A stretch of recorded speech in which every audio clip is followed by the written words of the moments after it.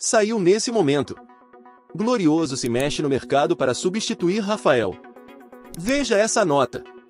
Fala torcedor do Botafogo. Se inscreva no canal para ficar por dentro de tudo que rola no fogão. O Botafogo tem uma dor de cabeça para encarar no começo da janela de transferências. Rafael, com uma lesão grave no joelho esquerdo, não jogará mais em 2023.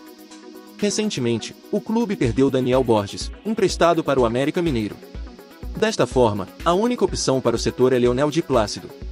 O alvinegro vai se mexer para encorpar a posição. Isso não quer dizer necessariamente que o Botafogo vai ao mercado para buscar um novo jogador.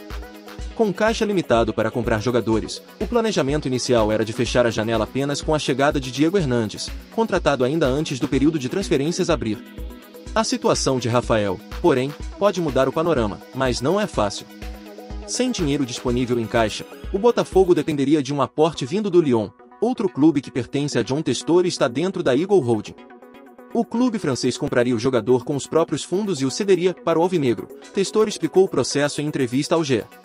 Nesse sentido, um dos nomes que tem sido observados, e só seria possível mediante um investimento financeiro, é o de Mateu Ponte, do Danúbio, do Uruguai. O defensor de 20 anos foi titular da Celeste na última Copa do Mundo Sub-20 tem seis jogos na temporada 2023.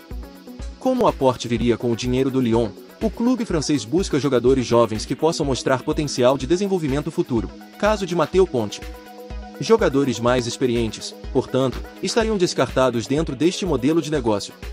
O Botafogo já entrou em contato com o staff de Ponte para entender as condições de uma possível transferência, mas não abriu negociação e sequer conversou com o Danúbio, porque não recebeu o sinal verde de que poderia realizar o investimento vindo de John Testor. Se não houver acerto com o uruguaio, a solução terá que vir da base.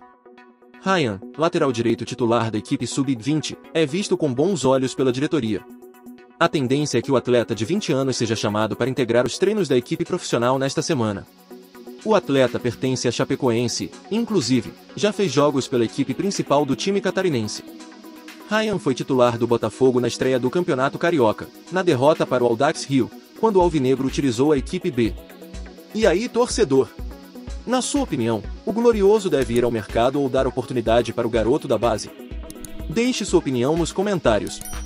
Se inscreva no canal, pois a qualquer momento te atualizo com mais novidades sobre o Botafogo.